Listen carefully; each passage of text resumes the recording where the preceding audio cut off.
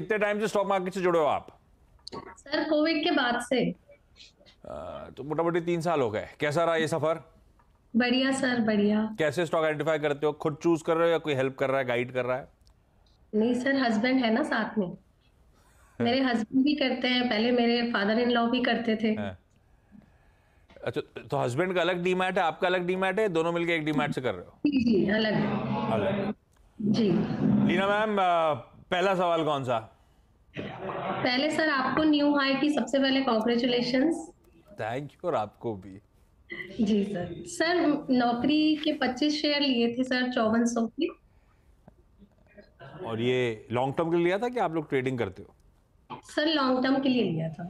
एक साल से ज़्यादा हो गया है। रखे हुए एक साल से ज़्यादा हो गया। ठीक है बीच में तो साढ़े छह हज़ार तक भी गया था उसके बाद ठंडा पड़ा। हम्म। राजेश सर अब चल रहा है वैसे धीरे धीरे करके नौकरी ऊपर आ रहा है। क्या करना है इन्फो एज में?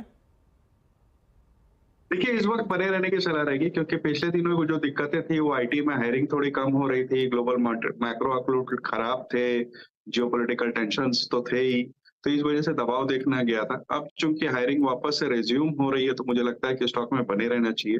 दूसरे इनकी जो होल्डिंग्स है पीबी इन्फोटेक जोमेटो वगैरह उनका अगर आप देखो तो वैल्यूएशन बहुत बढ़ गए हैं जिसकी अभी इसमें रिफ्लेक्शन होना बाकी है। तीसरे इनके जो रियल स्टेट का जो वेंचर है वो भी ठीक ठाक चल रहा है। तो मुझे लगता है कि सत्तावन सौ के टारगेट के साथ इसमें बिल्कुल बने रहने चाहिए।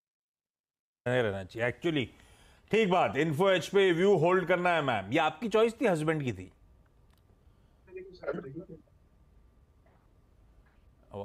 आवाज़ चली गई फिर से। हस्बैंड की थी सर हस्बैंड की थी। होल्ड करिए भाई।